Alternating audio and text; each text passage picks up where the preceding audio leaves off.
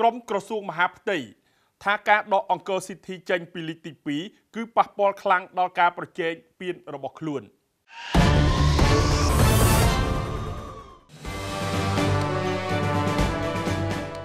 សមាគមកីឡាបាល់ទាត់ក្រសួងមហាផ្ទៃដែលជាសមាជិកនៃលីកទី2កម្ពុជា បានលើកឡើងថាការដកអង្គរសិទ្ធិចេញពីលីកទី2គឺធ្វើឲ្យប៉ះពាល់ដល់លទ្ធភាពរបស់ខ្លួនយ៉ាងធ្ងន់ធ្ងរ ក្នុងការប្រជែងដណ្ដើមពានជើងឯកលីកទី2រដូវកាលឆ្នាំ2023-24នេះយោងតាមការផ្សព្វផ្សាយនៅលើបណ្ដាញសង្គមផ្លូវការរបស់សមាគមកីឡាបាល់ទាត់ក្រសួងមហាផ្ទៃបានលើកឡើងថាកិច្ចប្រជុំរាយការណ៍ជូនឯកឧត្តមប្រធានសមាគមនៅសភាពការជាក់ស្ដែងនៃការសម្រេចចិត្តរបស់ CPL ក្នុងការមកភាពរាល់គ្រប់ការប្រកួតរបស់អង្គរ City ជាមួយគ្រប់ក្លឹបសមាគមទាំងអស់ការសម្រេចរបស់ CPL មិនមានការកោះប្រជុំជាមួយបណ្ដាក្លឹបសមាគមពាក់ព័ន្ធឡើយក្លឹបក្រសួងមហាផ្ទៃបន្តទៀតថាការមកភាពរាល់ការប្រកួតរបស់អង្គរ City នេះធ្វើឲ្យប៉ះពាល់ដល់លទ្ធភាពរបស់សមាគមកីឡាបាល់ទាត់ក្រសួងមហាផ្ទៃធ្ងន់ធ្ងរបំផុតក្នុងការប្រកួតប្រជែងដណ្ដើមពានជើងឯកលីកទី2នេះដោយមុនមុខភាពនេះសមាគមឈរលេខ2ដោយចាញ់ក្លឹបឈរលេខ1តែ2ពិន្ទុប៉ុណ្ណោះ ក្រោយការធ្វើមុខភាពសមាគមស្ទើរតែអស់ឱកាសក្នុងការដណ្ដើមពាននេះទៅហើយដោយបន្តចាញ់ក្លឹបលេខ1ចំនួន1ពិន្ទុនិងសល់ចំនួនការប្រកួតតិចជាងក្លឹបលេខ1ចំនួន1ប្រកួតថែមទៀតក្លឹបក្រសួងមហាផ្ទៃក៏បានបន្ថែមថាក្រោយការរាយការណ៍ស្ថានភាពនេះឯកឧត្តមប្រធានសម្រេចឲ្យក្រុមការងារលេខាធិការគ្រូបង្វឹកកីឡាករទាំងអស់រក្សាស្ថានភាពនិងបន្តខិតខំធ្វើការងារ ខិតខំវឹកហាត់ឲ្យបានកាន់តែខ្លាំងថែមទៀតទោះបីជាសមាគមទទួលជ័យជំនះទាំងអស់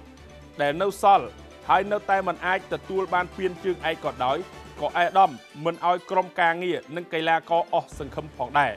អេដាមនៅតែបន្តគ្រប់គ្រងនិងលើកទឹកចិត្តដល់កីឡាករទាំងអស់ក្នុងការធ្វើការប្រកួតឲ្យអស់ពីសមត្ថភាពឈានទៅអាចចូលរួមលីកកំពូលនៅរដូវកាលក្រោយ ឯកឧត្តមប្រធានសម្រេចមិនឲ្យធ្វើការសំណូមពរអ្វីទាំងអស់ទៅកាន់ CPL ប្រធានក្លឹបបាង្កេតស្នើសុំជាមួយ FFC ដើម្បីឲ្យសៀងចន្ទធាអាចបង្ហាញខ្លួនក្នុងលីកនិងពានសម្ដេចដោយទស្សនិកជនបានជ្រាបហើយថាកីឡាករសៀងចន្ទធា ដែលទើបត្រឡប់មកពីក្លឹបនៅកាតាក្នុងលក្ខខណ្ឌខ្ចីជើង មិនអាចបង្ហាញខ្លួនឲ្យក្រុមបង្កេតបាននោះទេដោយសារផុតទីផ្សារដោះដូរកីឡាករក្លឹបបង្កេតកំពុងចរចាជាមួយសហព័ន្ធបាល់ទាត់កម្ពុជា FFC និងបណ្ដាក្លឹបនៅក្នុងលីកដើម្បីស្វែងរកដំណោះស្រាយណាមួយដើម្បីឲ្យចន្ទធាអាចចូលប្រកួតបាន លោកស្រីពុទ្ធធីតាប្រធានក្លឹបបង្កេតនិយាយថារឿងគួរឲ្យសោកស្ដាយដែលកីឡាករមានសមត្ថភាពម្នាក់មិនអាចប្រកួត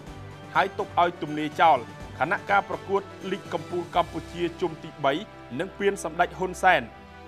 កាន់តែតាក់ទាញយ៉ាងខ្លាំងពីសំណាក់អ្នកទស្សនា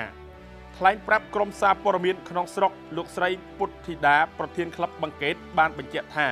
នេះគឺជារឿងសោកស្ដាយប្រសិនបើកីឡាករដ៏ល្អម្នាក់នេះមិនបានបញ្ចេញសមត្ថភាពលើទីលាន លោកស្រីពុទ្ធធីតាបន្ថែមទៀតក្លឹបបង្កេតកំពុងស្នើទៅសហព័ន្ធ បាល់ទាត់កម្ពុជា រកដំណោះស្រាយណាមួយឲ្យកីឡាកររូបនេះអាចចូលលេងវិញបាន ហើយក៏សូមអនុគ្រោះដល់ក្លឹបក្នុងលីកយោគយល់ចំពោះសំណើក្រោយបញ្ចប់ទីផ្សារដោះដូរកីឡាករផងដែរយ៉ាងណាមិញចំពោះការស្នើសុំរបស់ប្រធានក្លឹបបាល់ទាត់បង្កេតគឺមិនទាន់ទទួលបានចម្លើយណាមួយពីខាងសហព័ន្ធបាល់ទាត់កម្ពុជា